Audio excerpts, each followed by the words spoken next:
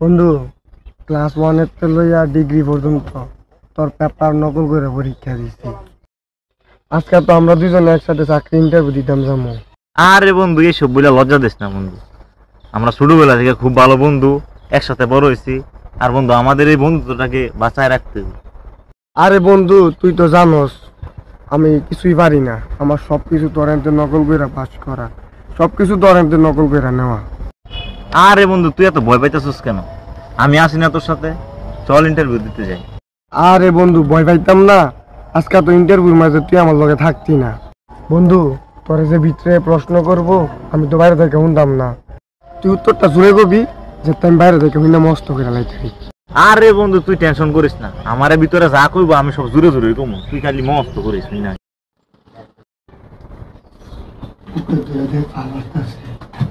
No tension bro তুমি থাকো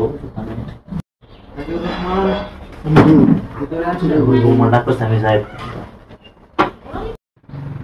আসসালামু আলাইকুম স্যার ওয়ালাইকুম আসসালাম বসেন ফাইলটা দেন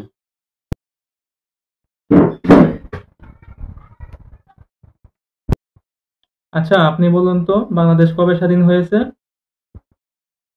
স্যার সেই উনিশশো বাহান্ন সাল থেকে এর প্রক্রিয়া শুরু হয়েছে আর স্যার উনিশশো একাত্তর সালে ষোলোই ডিসেম্বর এসে এটা শেষ হয়েছে ভেরি গুড সঠিক বলেছেন। আচ্ছা এবার বলুন তো উনিশশো একাত্তর সালের শহীদদের মধ্য থেকে পাঁচশো জনের নাম বলুন। আর উনিশশো একাত্তর সালে লক্ষ লক্ষ শহীদদের মধ্যে মাত্র পাঁচ থেকে ছয় জনের নাম বলে আমি বাকিদের ছোট করতে চাই। গুড আপনি যথার্থ উত্তর দিয়েছেন। আচ্ছা এবার অন্য ধরনের প্রশ্ন করি। বলুন তো মহাকাশে প্রাণের সন্ধান পাওয়া গেছে। এটার সর্বশেষ রেজাল্ট কি? স্যার এই সম্পর্কে এখনও গবেষণা চলছে। বের হলে স্যার আপনিও জানতে পারবেন আমিও জানতে পারব। হ্যাঁ সুন্দর বলেছেন।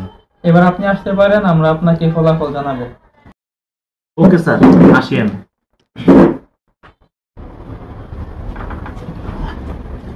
আসস তুই বন্ধু সব তো ঠিক কইছস না? হ্যাঁ বন্ধু তুই খালি মনে রাখা যায় খালি কবি ওই যে নেক্সট মাহির খান ভিতরে আসেন। বসেন ফাইলটা দেন। আচ্ছা আপনি বলুন তো আপনার বার্থডে কবে? স্যার সেই উনিশশো বাহান্ন থেকে প্রক্রিয়া শুরু হয়েছে উনিশশো একাত্তর সালের ষোলো ডিসেম্বর শেষ হয়েছে।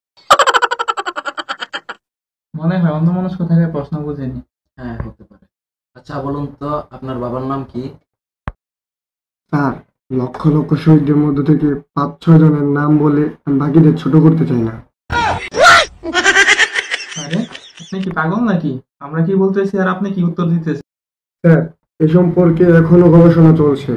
রেজাল্ট বের হলে আপনিও জানতে পারবেন আমিও জানতে পারব। থেকে এলো এরা? চিন্তা করছ